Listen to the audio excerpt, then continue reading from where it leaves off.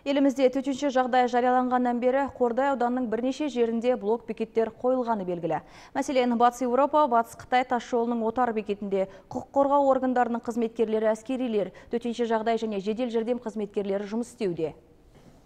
Ел тыныштығы үшін тәулік бойы қызмет етіп жатқан азаматтарға аудан тұрғындары мен кәсіпкерлер алғысын білдіріп, қолынан келгенше көмек көрсетіп келеді. Мәселен, Қордай ауылында орналасқан дәмхана ұжымы 20 шақты адамға арнап түскі ас әзірлеп, оны отар бекетіне жеткізді. Бұл қайырымдылық іс шарасы аталмыш дәмхана басшылығының бастамасымен іске асып отыр. Басқа да кәсіпкерлер мейлі тұрғындар болсын, ары қарай жалғастырып көмегімізді аямасақ дейді.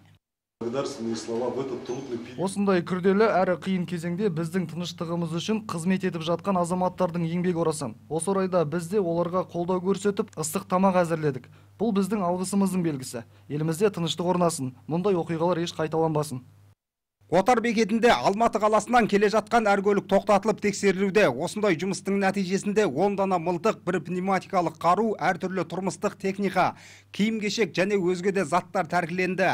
Ешбір чегі және брикалары жоқ бұл заттардың барлығы тәркіленіп, шешім қабылдау үшін тиісті жерлерге жолданды. Сонымен қатар полицейлердің заңды талабына бағынбай қашпақ болған бір автокөлікті қарудың көмегімен тоқтатуға тура келген.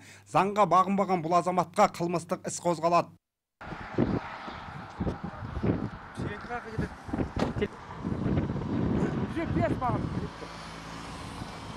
Айта кету керек, коменданттық сағат кезінде тәртіп сақшылары Қордай ауылында да тексеріс жұмыстарын жүргізуде. Нәтижесінде бірнеше азаматқа әкімшілік құқық бұзушылық туралы хаттама толтырылды. Қасымжан Байкүшігіп, Жамбыл Ньюс, Қордай ауданы.